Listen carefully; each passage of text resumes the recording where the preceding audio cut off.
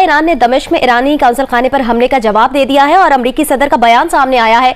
उन्होंने वाजे किया है कि ईरान पर जारहाना ऑपरेशन में हिस्सा नहीं लेंगे। ईरान ने इसराइल पर हमला कर दिया है ये बहुत बड़ी खबर है। जॉर्डन ने ये कहा है कि वो अपनी टेरिटरी के ऊपर से गुजरने वाले ईरान के ड्रोन्स को इंटरसेप्ट करेंगे। इसराइल का ये दावा है कि हमने उनको रस्ते में इंटरसेप्ट कर लिया है। उधर जो है वो बरतानवी फोर्सेज भी हैं। इस वक्त तो ये फ़र्ज़ है जंग करना फ़र्ज़ है तमाम मुस्लिम उम्मा पर। हम एटमी कुत हैं हम पर ज़्यादा ज़िम्मेदारी है लेकिन हमारी तरफ़ से ये बयान आया है जी कि सब जंग बंद करके और बस पीछे हट जाए। इसराइली फिजाइया की रीढ़ की हड्डी की हैसियत रखने वाला इसराइली जेट तैयारों का सबसे बड़ा अड्डा रामून एयरबेस ईरान ने तबाह कर दिया। देखिए अगर ईरान अभी तक डायरेक्ट इन्वॉल्व नहीं हुआ था तो इसराइली सेना या इसराइली प्राइम मिनिस्टर नेतन्याहू क्या चाहते थे? वो चाहते थे जिसको मैं इंग्लिश में बोलूँगा bring the enemy to battle Israel का अरबों डॉलर का आयरन डोम नाकाम हो गया। मिसाइल मस्जिद अक्सा और बैतुल मकदस की हदूद से गुजरे और इसराइलियों पर कहर बनकर बरसे। जिस दिन हिजबुल्ला ने हमला किया ना इसराइल के ऊपर उस दिन इनकी टेक्नोलॉजी जाम हो जाएगी। ना इनका जहाज़ चलेगा ना इनका हवाई जहाज़ चलेगा ना इनका कोई बहरी आबदोश चलेगी। जैम कर देंगे बिल्कुल उस तरह जिस तरह कासिम सलमानी की शहादत के बाद एनुल असद एयरबेस को जैम करके वहाँ पे मिसाइल मारे थे ईरान ने। ईरान इनकी टेक्नोलॉजी में इनका बाप है। अबे साले एक नंबर के भिखारी। ईरान के पास जो सबसे बेहतरीन मिसाइल है उस मिसाइल की रेंज है 2500 किलोमीटर फ़ी घंटा। मतलब सॉरी 2500 किलोमीटर तक वो मार कर सकता है। उसकी स्पीड है 15000 किलोमीटर फ़ी घंटा यानी 13 मैक उसकी स्पीड है दोस्तों। कि अगर कोई स्कूल अच्छा मैच पढ़ा रहा है तो वो इस्लाम है। अगर वो स्कूल एक अच्छी इंग्लिश में तालीम दे रहा है तो डेट इज़ इस्लाम और टेक्नोलॉजी तो है ही इस्लाम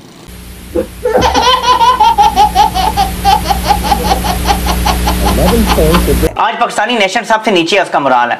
अगर जनरल आसिम मुनीर साहब ऐलान कर दें कि हम भी इसराइल पे हमला करने लगे और हम बदला लेंगे फलस्तीनियों नहीं हमारे लिए मुआवजे तो नहीं होंगे। हम इतनी अच्छी कौम तो नहीं है कि हम आँखें फ्यूचर नज़र आ जाए। हम तो मानते हैं फकर से तमाम आलम इस्लाम के चलो कोई तो इस्लामी मुल्क निकला जिसने इन बदमाशों को नकेल डाली है तो उसका साथ देना चाहिए ना? इस्लामी इतिहाद के तहत चलना चाहिए ना? हमले कह लें या जवाबी कार्रवाई के बाद जारियत का जो जवाब दिया इसराइल का उसके बाद अमेरिका और उनके जो हलीफ हैं वो काफ़ी खौफजदा हैं कि ये जंग बढ़ ना जाए। लेकिन अब जब इसराइल इसको रिस्पॉन्ड करेगा तो ऐसी सिचुएशन आपको नज़र आ सकती है। मैंने पहले कहा था ये कि तबाही जो है वो ईरान की होगी।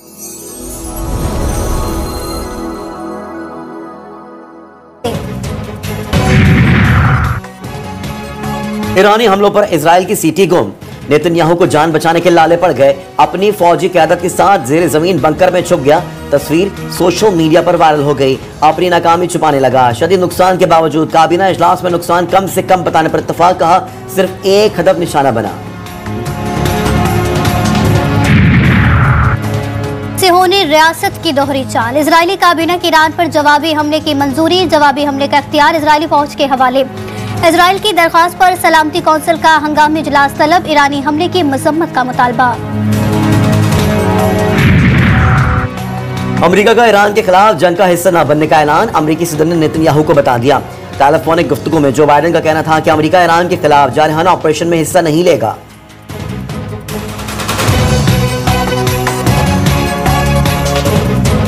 ईरान का इसराइल पर हमला अकवा मुतहदा के चार्टर इक्यावन के तहत कानूनी और जायज़ करार। हमले के बाद ईरानी वज़ीर खारजा का बयान कहा, हमला अकवा मुतहदा के असूलों के एन मुताबिक और दिफाई पोजीशन में किया।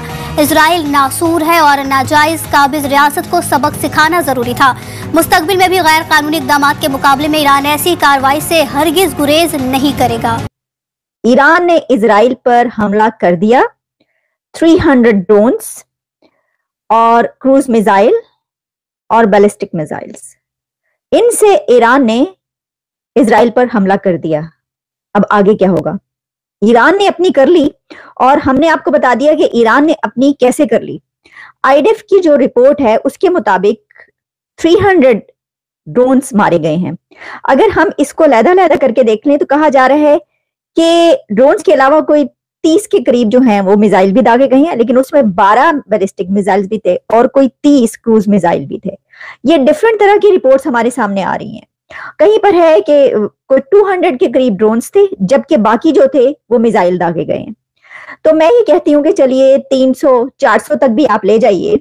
तो इतने उन्होंने ड्रोन्स भी मार दिए मिसाइल भी मार दिए हर तरह के, और उसके रिज़ल्ट के तौर पर क्या हुआ है? जो इसराइल है, उसकी तरफ़ से ये कहना है कि मेजोरिटी जो ड्रोन्स मारे गए और मिसाइल मारे गए, उनको इंटरसेप्ट कर लिया गया। और उसमें जो अभी तक उन्होंने रिपोर्ट दी है कि एक छोटी लड़की जख्मी हुई है, उसके अलावा किसी तरह की कोई तबाही की जो है, वो खबरें नहीं आ रही। लेकिन उनकी एयरबेस को ईरान ने निशाना बनाया है। ईरान ने इसराइल की एयरबेस को भी निशाना बनाया है। लेकिन अब आगे क्या होगा?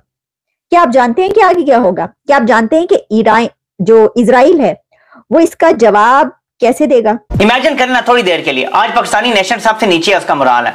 अगर जनरल आसिम मुनीर साहब ऐलान कर दें कि हम भी इसराइल पे हमला करने लगे और हम बदला लेंगे फलस्तीनियों का, ऐसी मिसाइल दाग ने जो ना टारगेट पे गिरे। चलिए, मुख मुका करके अगर ये ईरान पे इल्ज़ाम लगाते हैं कि ईरान ने मुख मुका करके मिसाइल हमला किया है, भाई जनरल आसिम मुनीर को मुख मुका करके हमला करने से कौन रोक रहा है? मुख मुका करके ना अपने मिसाइल मार दो। वो उसकी एयर बेस पे गिरे, पटाखे की तरह फटे और खत्म हो जाए। कह जी, हमने हमला तो कर दिया है ना। लेकिन हम ये भी नहीं कर सकते। ईरान ने जो किया, मुख मुका का इल्ज़ाम लगा तो फिर भी उसने करके दिखाया है। आप ये भी नहीं कर सकते। आप मजमती बयान भी नहीं जारी कर सकते इसराइल के खिलाफ। आपकी इतनी औकात नहीं है। ये तकलीफ़ की बातें हैं। बार बार करनी पड़ती हैं। मैंने तो आज ट्वीट भी किया था कि जब हम सो रहे होते हैं तो वो इसराइल पर हमले करने की मनसूबाबंदी कर रहे होते हैं। अब ये तो मेरा ट्वीट है, लेकिन असल बात यह है कि अफसोस की बात है कि इसके अलावा वो सब कुछ कर रहे होते हैं। अब आते हैं ऑब्जेक्टिव्स की तरफ़। खतरा यह है जिसका इजहार किया जा रहा है कि इसराइल अब जो तवज्जो सारी चली गई थी मजलूम फलस्तीनियों पर, वो हटाने में कामयाब हो जाएगा। ये अब मैं इसराइल के परस्पेक्टिव से बता रहा हूँ कि वो क्या करेंगे इसके जवाब में। इस टाइम इतना दबाव था इसराइल के ऊपर कि अमेरिका भी उसका साथ देने के लिए तैयार नहीं था। बाइडन बार बार उसको कह रहा था डीएस्केलेट करो, पीछे हटो, बस करो ये मारा मारी बरतानिया के अंदर इतना अवामी दबाव बढ़ रहा था कि असलाह ना दो इसराइल को। अमेरिका के अंदर दबाव बढ़ रहा है कि असलाह ना दो इसराइल को। इसका पहला नुकसान यह होगा कि बरतानिया और अमेरिका की हुकूमतें जिन पर दबाव था कि इसराइल को असला ना बेचो, ना दो, वो आप कहेंगे, जी, इसराइल के दिफा के लिए असले की ज़रूरत है आप देना पड़ेगा, अब तो ईरान से लड़ाई हो गई है। तो इस वक्त असले के मुँह खोल दिए जाए तिजोरियों के मुँह खोल दिए जाते हैं ना, असले असले की जो तिजोरियाँ हैं ना, बरतानिया और अमेरिका इस टाइम उन तिजोरियों के मुँह खोल देंगे कि इसराइल को मुँह मांगा असला दिया जाएगा। सो फिर मजलूमियत कार्ड खेलेगा इसराइल। यह भी एक इसका नेगेटिव इंपैक्ट है।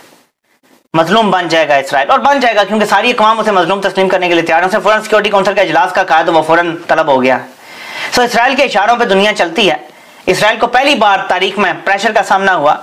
जो सफ़ेद फार्म लोग हैं, वो जाग उठे। उन्होंने शोर मचाना शुरू किया।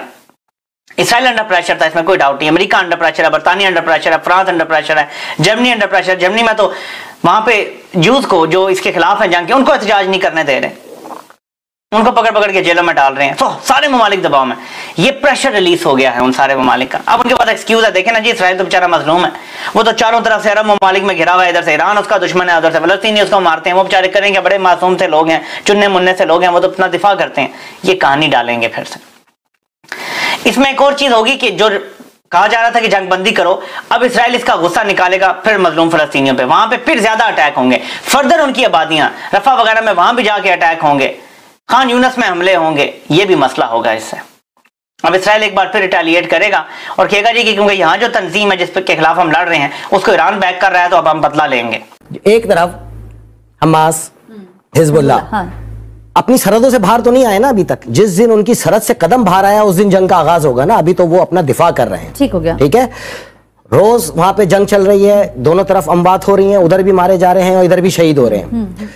लेकिन इसराइल के जो फौजी मारे जा रहे हैं हम्म। वो रेफर कंटेनर के अंदर बॉडी बैग रखे हुए हज़ारों की तादाद में वो ले जाए ना फिर इसराइल इनको। दफनाए ना एजाज के साथ अगर इतना ही तुम इतने बहादुर चैंपियन हो इतने बड़े बड़े तुम दावे करते थे दुनिया में हम ये ताकत हम वो ताकत टेक्नोलॉजी में ताकत फला में ताकत असला में ताकत।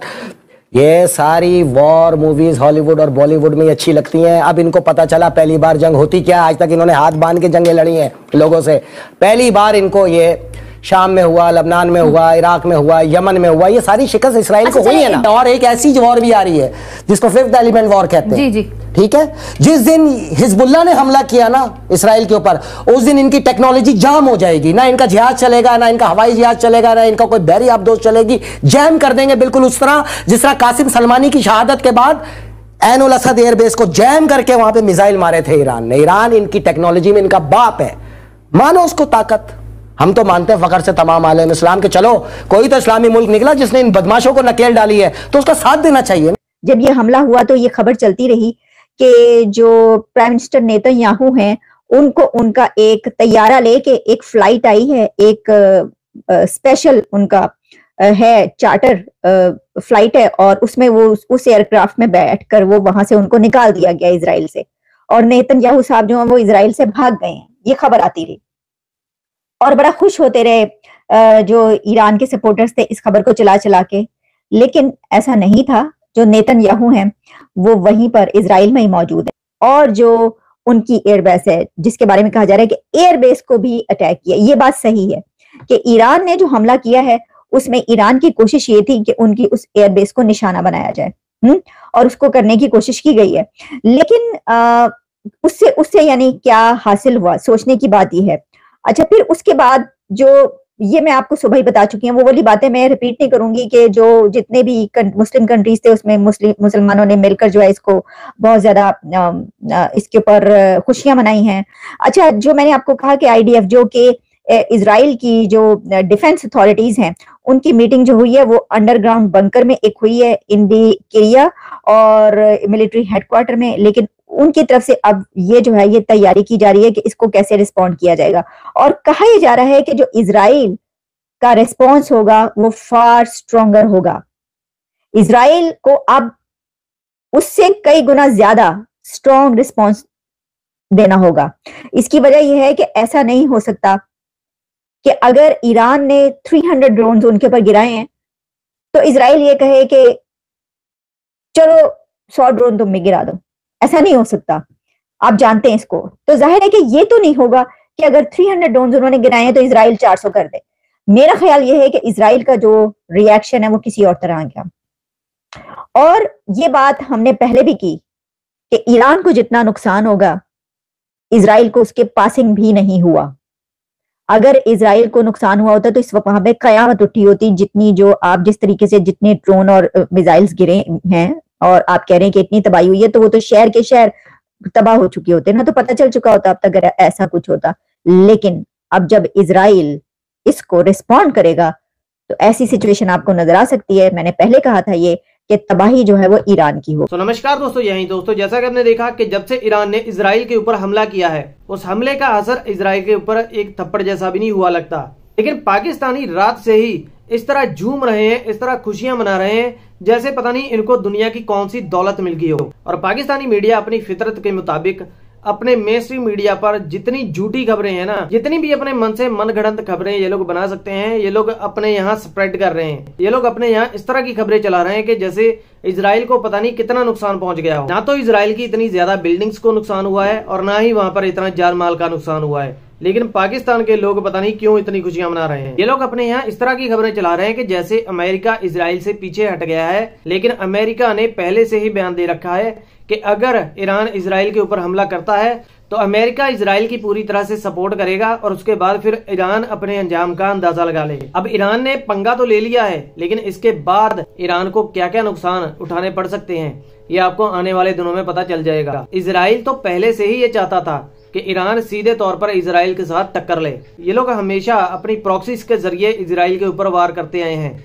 लेकिन इस बार इन्होंने सीधे तौर पर इसराइल से पंगा ले लिया है। और मैं आपको ये बता देता हूँ कि ईरान की ये सबसे बड़ी भूल, ये सबसे बड़ी गलती साबित होने वाली है। अमेरिका के एक फॉर्मर एनएसए ने बोला है कि इसराइल को ईरान के उन ठिकानों पर हमले करने चाहिए, जहाँ पर ईरान ने अपने एटम बम छुपा कर रखे हुए हैं। तो अगर इसराइल ईरान के इस तरह के ठिकानों के ऊपर हमले कर देता है तो आप सोचिए कि ईरान में कितनी बड़ी तबाही आ सकती है। और पूरी दुनिया ये जानती है कि इसराइल के पास इस तरह की कैपेबिलिटीज हैं कि इसराइल दुनिया में कहीं भी अटैक कर सकता है। ईरान के लोग सिर्फ़ प्रॉक्सी वॉर्स लड़ रहे हैं, ना ही आज तक ईरान ने कोई ज़्यादा बड़ी जंग लड़के देखी हुई है। तो ईरान को अब लग पता जाएगा कि किसी दूसरे देश के ऊपर हमला किस तरह किया जाता है। ईरान ने जो भी किया है, जैसे भी किया है, जिस तरह की भी हवा में आकर इन्होंने किया है जो भी इन्होंने अब गलती कर ली है, इस गलती के ऊपर अब इनको बहुत पछताना पड़ेगा। पाकिस्तान के लोग थोड़ा सा सबर से बैठें थोड़ा सा अपनी कुर्सी की पेटियाँ बाँध लें थोड़ा सा पॉपकॉर्न वगैरह लेकर बैठ जाएँ। आगे आने वाले टाइम में देखें कि आगे आने वाले टाइम में क्या तमाशा होने वाला है। रात से जब से इसराइल के ऊपर अटैक हुआ है, इन देशों में बहुत ज़्यादा खुशियाँ मनाई जा रही हैं, खासकर पाकिस्तान, अफ़गानिस्तान और ये जो जॉर्डन वगैरह और सीरिया वगैरह, इन देशों में बहुत ज़्यादा खुशियाँ मनाई जा रही हैं। इनमें से किसी भी देश ने ईरान को कंडेम नहीं किया। लेकिन अब आने वाले टाइम में आप देखिएगा कि इन देशों की चीखें कैसे निकलती हैं। इसी तरह पाकिस्तानियों की भी ईरान के लिए चीखें निकलने वाली हैं। पाकिस्तानी थोड़ा सा सबर से बैठे थोड़ा सा अपना टाइम लें थोड़ा सा ठंडा वंडा पिए और आराम से चिल करके बैठे, जो ये लोग चप्पल तोड़ घुंगरू तोड़ डांस कर रहे हैं। इस डांस को ये लोग बचा कर रखें। आने वाले टाइम में जो तमाशे होने वाले हैं, जो दमादम मस्त कलंदर होने वाली है, उसके लिए ये लोग इस खुशी को बचा कर रख लें, उसके लिए अपनी साँसें बटोर के रख लें, फिर देखेंगे कि पाकिस्तानी किस तरह रिएक्ट करते हैं। बाकी दोस्तों, आपका इस वीडियो के ऊपर क्या विचार है, आप अपनी राय कमेंट सेक्शन में दीजिए। वीडियो अच्छा लगा तो वीडियो को लाइक कीजिए चैनल को सब्सक्राइब कीजिए। मिलता है नेक्स्ट वीडियो में, तब तक के लिए जय श्री राम, जय हिंद। आने वाली वीडियोस को देखने के लिए चैनल को सब्सक्राइब करके बेल आइकन प्रेस करें, जिससे आने वाली वीडियोस आपसे मिस ना हो। मिलते हैं अगली वीडियो में टिल देन बाय बाय